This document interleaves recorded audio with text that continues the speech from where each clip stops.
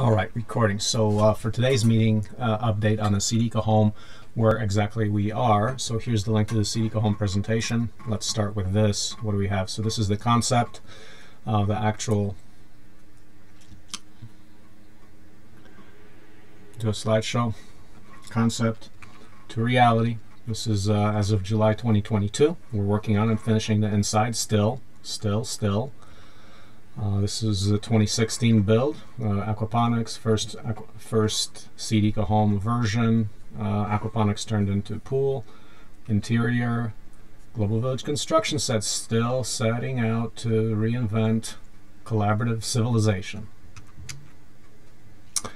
Now, as far as the Seed Eco-Home, that's a key thing. We've got housing as a key need. So now we've got the photovoltaics on, on the roof. You can actually download all the assets now. So you can click on this house assembly file. It's both in IFC format and FreeCAD format. Yes, IFC, you've heard that right. That's Industry Foundation Classes. That's a simple export. You go into FreeCAD 19 and you can export as a universally interchangeable file format that any building information modeling professionals can access also. So we've got various assets here. Now here's the foundation. This is the latest. Uh, this still stands with, uh, no it's not, sorry, this is, we're, we're showing anchor bolts here. We're actually going to mudsill anchors which wrap around the outside so you don't have to drill or preset the anchor bolts in the foundation the idea there is when we're doing the finished concrete work, we don't want any bolts to be in there because we want that to be a super easy job for a power trowel, which is very quick and effective. Uh, floor plan of the first floor, kitchen, bathrooms, stairway, second floor, two bedroom, two bath. We can also think about dividing the upper floor into three bedrooms. Uh, this is actually old. There's a bathroom on just like this here on the upper floor. So this is a little old here. Okay, roof profile has been updated. So if uh, you examine the current design now, uh, the distinction is that now we have a flat, so here we have a set of roof joists that are absolutely flat, and we ended up cutting tapers for the angle. Before, what we had was a simple roof riser sitting under the roof joist that provided the angle because we thought, oh, well, to cut all those joists uh, those tapers at an angle is a lot of work. Well, you have to cut uh, 8, 6, or 9 16 foot pieces. But the advantage here is this, this simplifies the interior finishing tremendously on the second floor. Here what you see is that the slant here is actually uh, makes for a complication when we had a slanted roof, uh, slanted uh, joist set of roof joists before. So now this all becomes flat. The green stuff here, that's all flat now. So actually what you see here is the old version where we had the slant inside the house, which as you can imagine with these triangles and a slight incline, uh, puts a lot of lot of requirement on finishing detail. It may, we go, we're going back to the box, super simple, much faster to build. Uh, so that's the slant 5.5 inches on top. This is cut out of a 2 by 6 and this is a 2 by 6 at the end going to 0 inches. It's a 5.5 inch rise over 16 feet. There's a decorative trellis, gutter, uh, similar to before. Alright, canopy, you can see that. Uh, carport footers, that those are going to be augured with a 22 inch auger. We'll probably end up building that. So here's the PV, here's the conceptual design of what we're doing there. Very simple design. 2x6 spanning members, steel brackets holding down the spanning members, and then the PV panels are attached by these, these kind of steel steel angles, uh, something easy that you can fabricate readily from angle uh, without welding.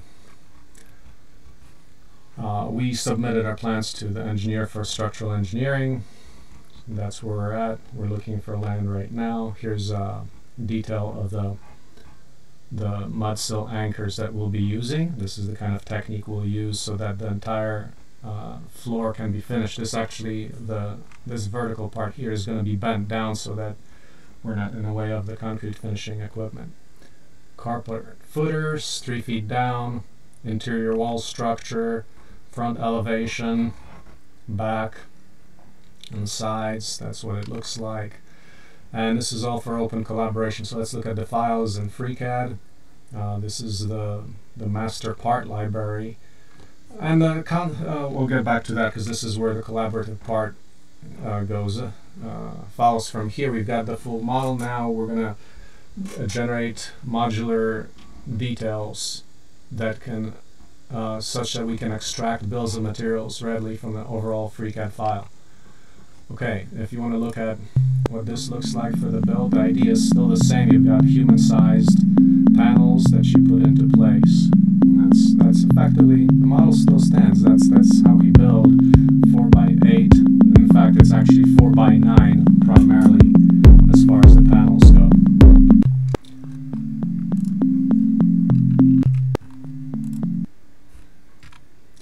Budget. Okay, so summary of the budget now you can click on a detailed link.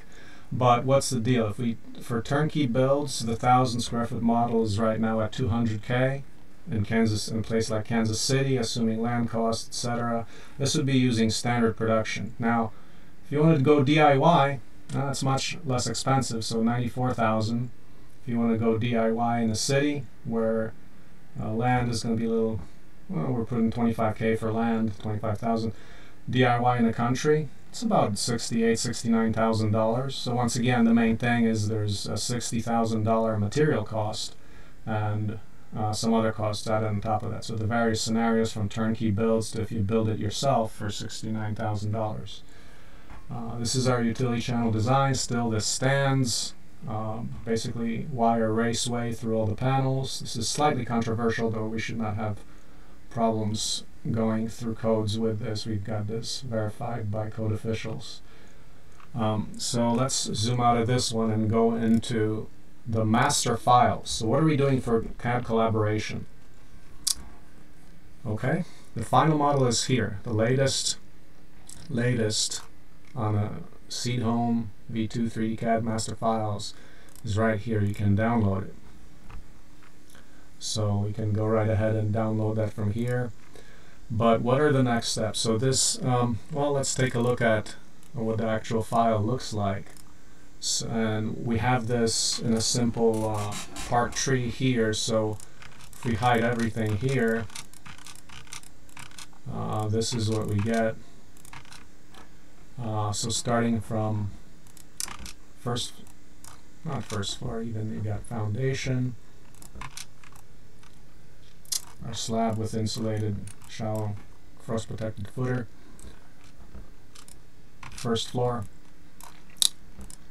That's the floor above that. Move on to the second story. Move on to the roof. So you can see that slant now. Uh, you can see that the roof joists are going to be flat and the slant is obtained by tapers. And you can actually if we separate the roof out, take a look at that. You've got roof rafters, got the tapers, so these are cut. So you've got the decking, you've got the rigid insulation, you've got box around that. That's the roof. Now next on is PV panels. Take a look at that, these brackets that I showed. Oh, what's this? Okay, I gotta fix this thing. That's, for some reason, that's up there. Um, now, roof trim. So at the end of the day, we have this this kind of a structure, this decorative trellis, as you saw in the pictures. Makes it look attractive. And there's the carport. Now, as far as interior, we shut everything down. Hey, that's what all the guts look like. Kitchen, stairs, bathrooms on each floor. Uh, bathroom on the first floor appears to be missing, uh, but that's the interior. Now, um, there's a numbering of these all these wall modules, so let's shut that down and go look at floor one, and then not floor one, but first floor and second second floor. So that's like the main main structure here, and right here we've got uh, for a start the 48 modules. It's like uh, that is like 1 through 23 going around the outside, and then 24 through like 47 on top. And then if you go to the interior, there's a bunch of walls that are numbered like, well, if you go on the bottom floor, um,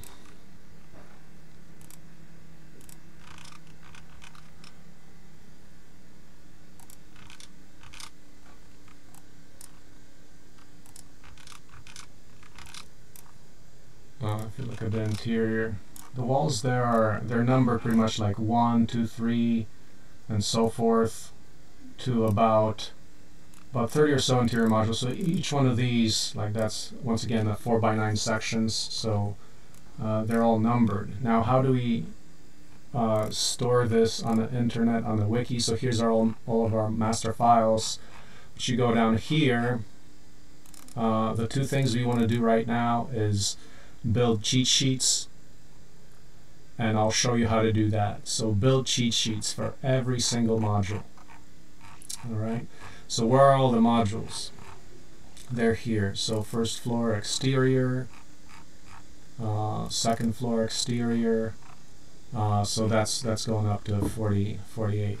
then we've got interior, but let's worry about the first 1 through 48 for the exterior wall modules. And there's more complicated ones like windows, for example, and doors, but otherwise they're relatively simple. But when we're building these, each person gets a cheat sheet. Okay, so I was actually starting on foundation. Um, cheat sheets like, oh, here's the one panel on the interior wall. This is, um, and this you can understand, our standard 4 by by 9 panel. This we generate readily out of FreeCAD. So in this presentation, I'll show you exactly how to do that. And we're working in FreeCAD 16. And the idea here is go through. So here we've got all these, uh, these are interior walls. But for these build cheat sheets from here, uh, I covered all the interior walls. Um, pretty much, most of them. And now we want to go through all the exterior ones, including the sheathing and framing and blocking where all of those elements will show up in our detailed uh, drawings like these little details where you can see all the framing. Like here from the side profile you can actually see that there's sheathing there. Um, so you've got all those relevant dimensions there with sheathing being a 4 by 8 sheet so it's just a plain sheet so how do you extract this from FreeCAD? Okay, so let's go into FreeCAD. I'll show you how to do that. Take the first one, wall module 1, exterior. Uh, we actually have a placeholder for build cheat sheets, but uh, actually let's do the, put them up in this section here so they're readily visible right here. Uh, since, since it's useful to get one of these pictures like like this for example you know we can take that put that right into our build cheat sheets where we prepare instructions for anyone building. This so you basically have to cut things to length and screw them as as needed. Okay so take a look at the first uh, wall section. In a previous meeting I described the three file types file type 1 2 and 3 so here's a, a file type 3 here which means just a dumb object of the entire file so we're going to open that up. So maybe can shut out of this document, open up a new file, open. I just downloaded this file. No, that's that's not it. Uh,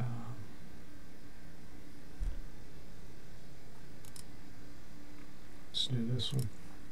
So in each of these, you have to look at the file history, and you have to look at whether there's a build cheat sheet for it already. And how do we mark that? So here on the wiki we'll go, if this one's already done, then we can do something like um, we can add there's a little thing you can do like check is this thing this this little format here let's see if that works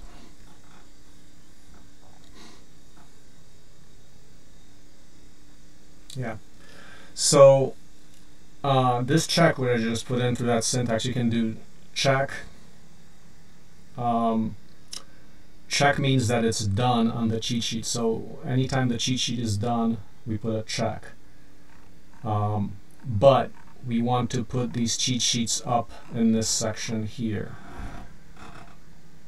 So we go back, um, so we're trying to extract the build cheat sheet. We're going to open up the one I just downloaded.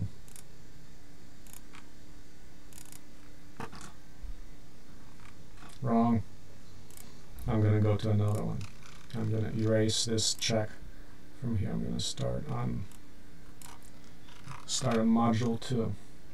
Um, you have to go through the version history of each part to see where you know, which files are available. So here, once again, .fcstd. So here, uh, say we've got this one one thing here. And now we're looking at, this is August 2021. So you see that this is, you can read this file history. You see the latest thing is in 2021. Well, that is not the latest. So the general procedure here will be to go to the master file and extract the individual module from the master file. So this is work we've done, this is um, almost a year ago now. So we're going to go back whenever we see an old file, we're going to go back to the to the master file. So here what you're going to have to do is go back to master file, download this latest freaking file. This is 07 29 22. You go here uh, and you download that. Just click on that. So working file.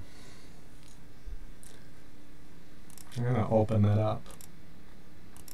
So what is the point of the working file, the, the latest, latest file? This uh, updates have been made to it. Uh, there might be little changes, so it's the safest bet to work from it.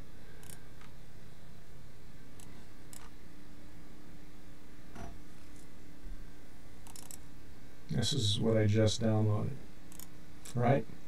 That's the one.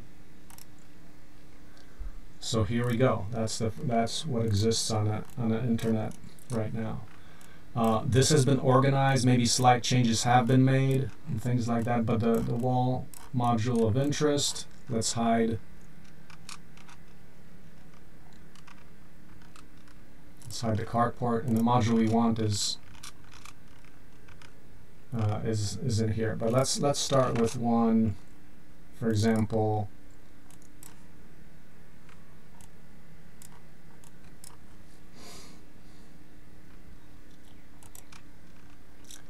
since we're all working on this file here, let's let's do um, first floor. Okay. So I'm gonna, for now, I'm just gonna erase everything. This is since I just downloaded that.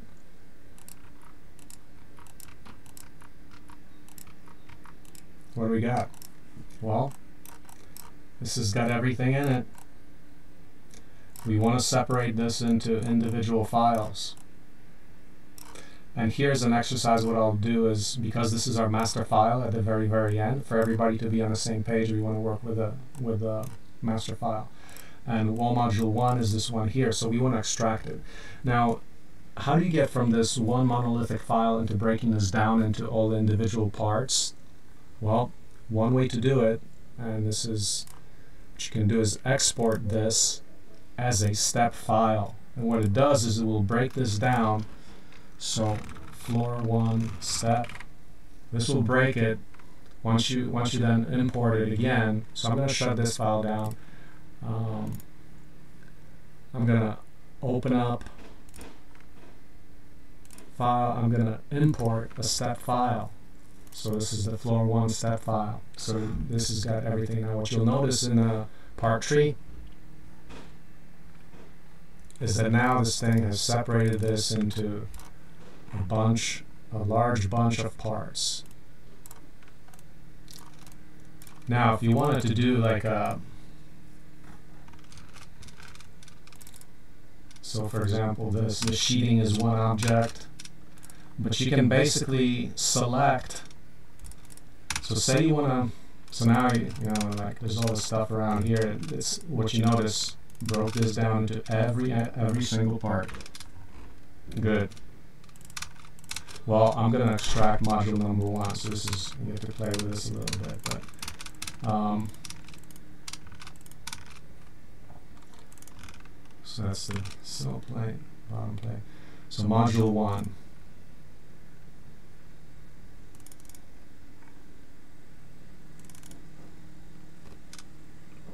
That's also not doesn't belong there.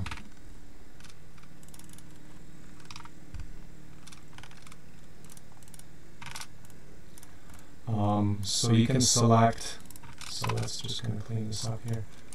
Um,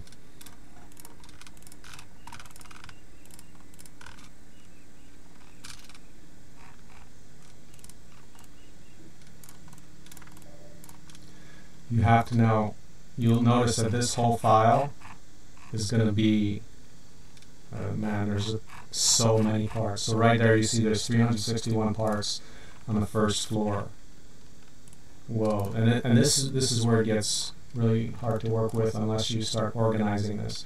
But what you want to do is click on each of the parts. Like for example here, that's what that's you can select those parts in the part tree, and you have to identify um, where exactly all those parts are. So here we see that whoa, it's all it's all here.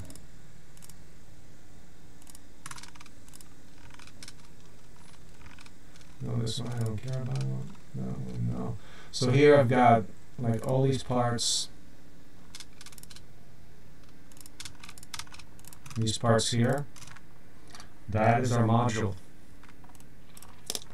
Now here we've got absolutely individual parts, and this would be good for, like now you can label all these, and uh, in the final, very, very final file, you want to label these correctly so that, if, for example, you could call this, this one here, uh, rename that and call it the 9-foot pre-cut stud, etc. What we know is we've got these to work with, and everything else below that, we can erase that.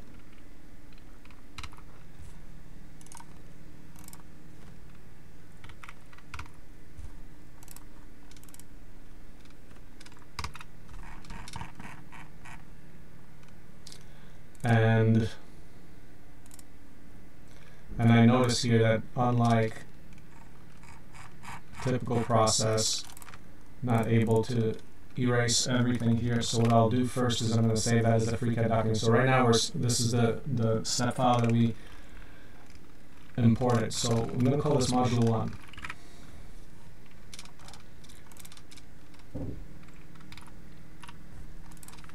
And I'm probably seeing a FreeCAD bug here because it's not letting me uh, erase parts. So I'm going to go back into module one again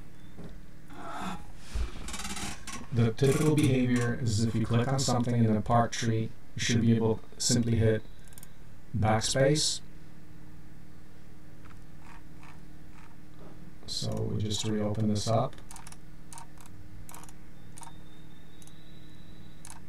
I'm expecting the behavior where if I click on anything and whatever that happened in the part tree, uh, if I click back, backspace, it deletes it. So right now I'm actively clicking and hitting backspace here, so you can do that. But let's go back to this one. So I'm going to find it where it is in the part tree. So this this is basically a way to like if you have complicated files with so many parts you can't handle, which is going to be at the end of the day what's what's happens here. How do you manage this? Uh, so we're going to go so we know again, is this our entire module? Yes it is. So I'm going to erase everything outside of it. Um, and then erase everything above it.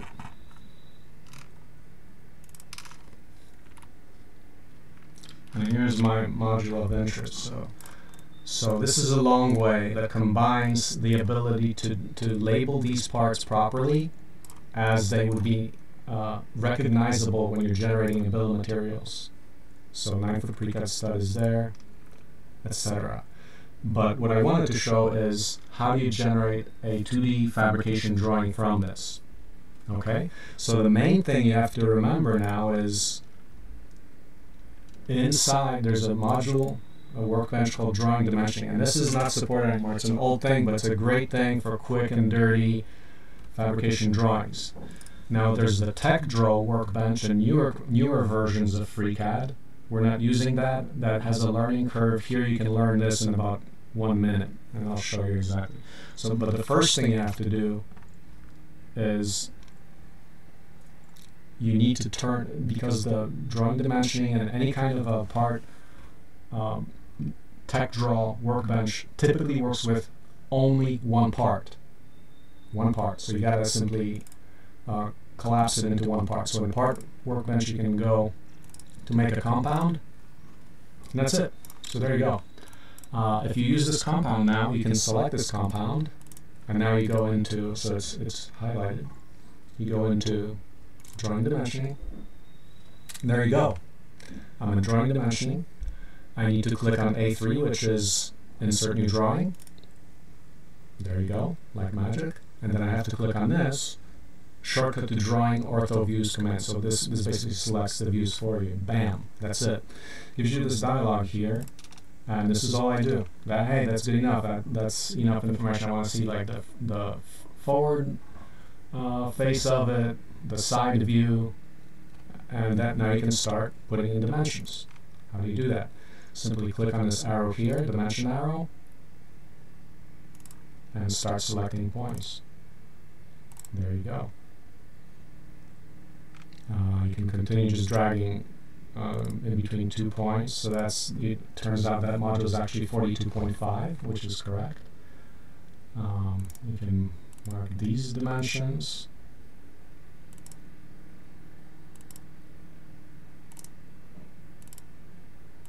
so forth. So that's that's what you do. Uh, and this is basically what we do. So that will be the beginning of module one.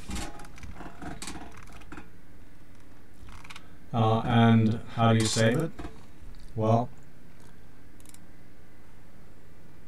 uh, go back to master part files, master master files, and here we're at module one here. So I'll actually, what I can do is upload this over the last existing file here. Um, and what you see here, just in terms of general file management, this is like Seedhome V2 CAD, and this is our current build that we're carrying out into the the into the future. So we can actually upload the new versions of the files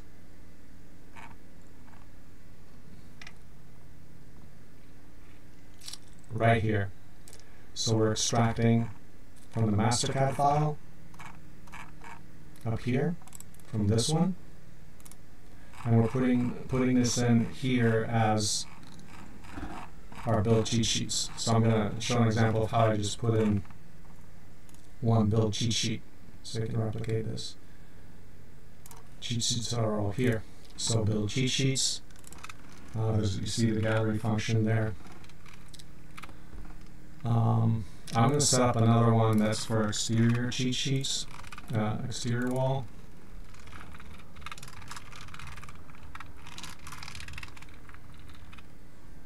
And I'm going to call it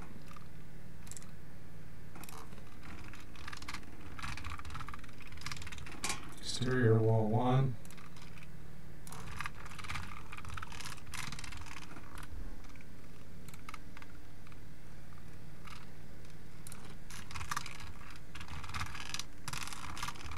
So I extracted this from the master CAD file. And then the file we're actually saving.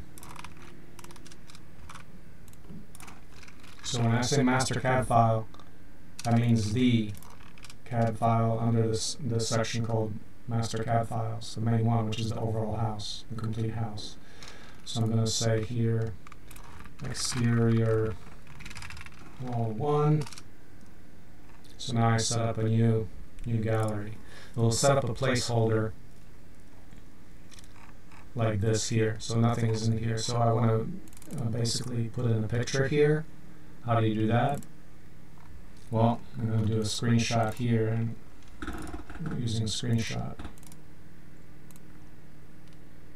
There you go.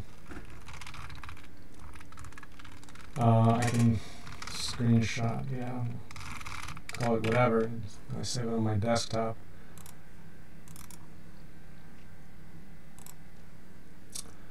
Now, the file name that it's looking for here is exterior wall 1. How do you upload files? This is under wiki instructions, upload file. So I'm going to do this file here, but the name has to be, it's this exterior wall 1. Okay, upload that file.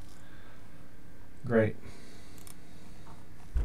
So I have my cheat sheets book, bookmark here, so that, that should show up. You have to control R for refresh and it may not refresh until uh, a little bit of time.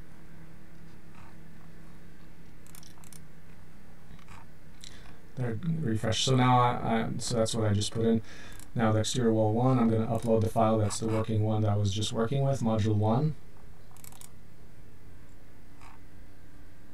Okay. So now what we have here, just ignore this, ignore this, and save the file anyway. So under the cheat sheets now we've got this first exterior wall file. And this is it.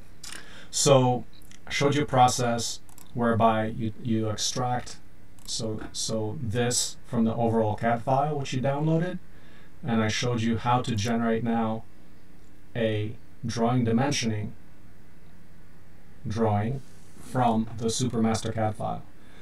And you notice that the master, the very, very final master CAD file is the working file from which we want to extract everything so that everyone is coordinated because that's the latest file. And it does have all the members and everything in there with a correct, uh, it's as correct as it gets right now. This is what we've come up with to date. Um, so from it you can extract, I showed you here, um, yeah, actually when you, when, what happens here, this, this uh, compound, it also has, when you go to part and you do make compound, you see that it collapses that all, but you can, you can still see all the parts are inside. Um, and I showed you how to do that by by exporting as a step file. Now if you delete that, it actually spits out all the interior parts. And when you have all the interior parts listed like this, that's where you get the bills of materials, and that's another topic. But, uh, but basically, you have part by part, you can uh, analyze this whole model. For now, we can extract all the different ex exterior wall master um, label here should be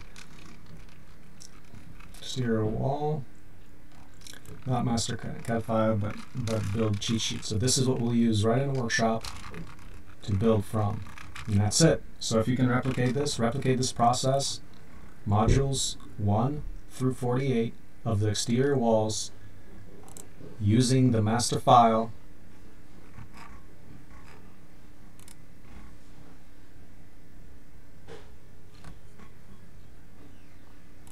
So master file, using this file, go through the process I showed to extract the cheat sheets, uh, first one being here. So if you click edit on this, all you need to do is add additional lines to this until you've got 48 of these. And this can be broken down into a large team of people working on together if they understand this. So you all you do is change this to wall 2, exterior wall 2. Now, so basically this turns into a huge accounting exercise, and of course you can start automating this uh, with Python and FreeCAD and so forth. Uh, so yeah, here's a placeholder for exterior wall 2. Uh, so anyone who wants to contribute to this, please do so. The way you know that this is done, uh, like here I put this check on it. Check means that it's completely done, but it's not done yet. I didn't complete that. Um, so I'm going to remove that check. Uh, so until we see a check mark by all these wall modules here, we know we're not done yet.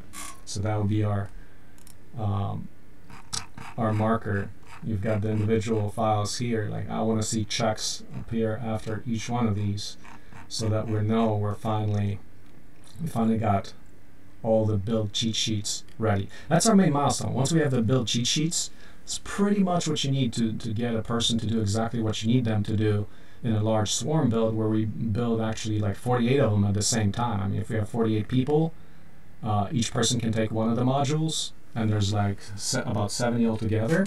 So the the practical limit is there's 70 modules between interior and exterior, and then of course you got a bunch more. Uh, so 70 people you can easily fit on a site, but imagine 70 people with a helper, like 140 people. Bam! They could knock knock all these walls out in about an hour, and then we can assemble. So I mean, you can really think of radical uh, time efficiencies uh, for time saving of how fast you can build these things, and you see how, kind of how this modular structure allows you to have a lot of people work on it together.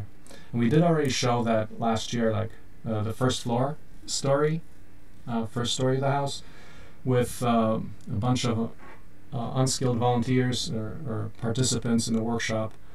We were able to put up the whole first floor in one hour. So that once again, the the time compression here is quite real using this kind of modular method. That's it. So help us do the cheat sheets, and we'll see you next week.